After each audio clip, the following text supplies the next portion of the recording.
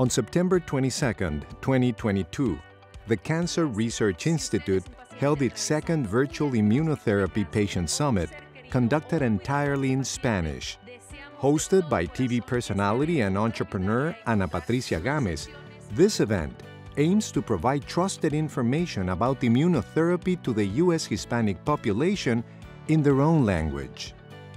The Hispanic community is dramatically affected by cancer and is underserved by the healthcare system.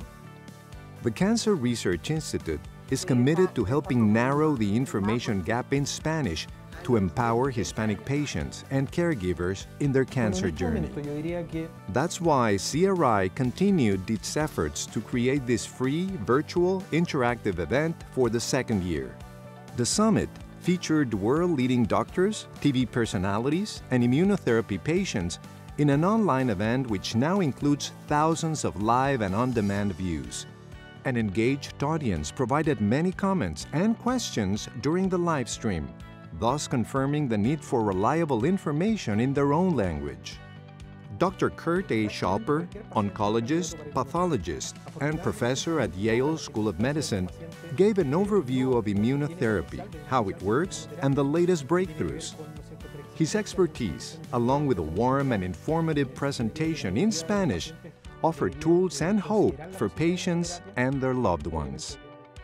Doctors Anthony Rivas, Narjust Florez, and Jose Conejo Garcia had an insightful discussion about accessing the latest in immunotherapy and the barriers that the Hispanic community faces when it comes to cancer treatments in a panel moderated by Emmy Award winning TV personality and journalist Teresa Rodriguez.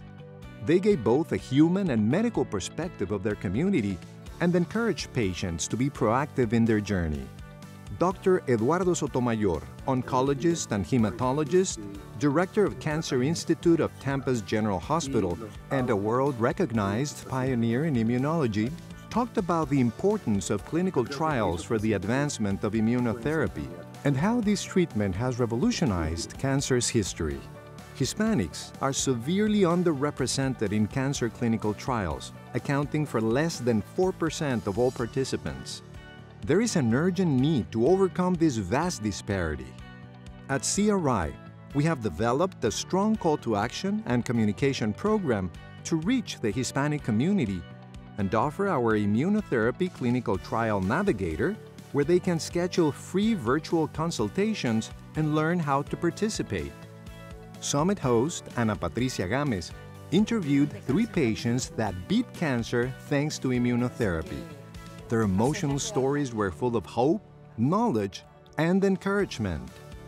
Univision journalist Carolina Sarasa moderated a panel with doctors Ana Velázquez Mañana and Rosario Costas Muñiz to talk about the human aspect of healthcare for the Hispanic community, how to give both medical and psychological support to patients and caregivers, and then empower them to find the best possible solutions to their cases.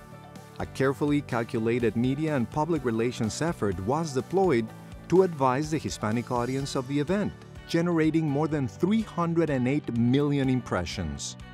The success of the summit was reinforced by an after-event survey filled with positive feedback from those who attended. Cancer Research Institute has the full event available on demand and is actively promoting viewership in a dedicated post-summit campaign. We thank our sponsors and invite you to join the Cancer Research Institute in making the promise of immunotherapy accessible to all people. Cancer Research Institute for a world immune to cancer.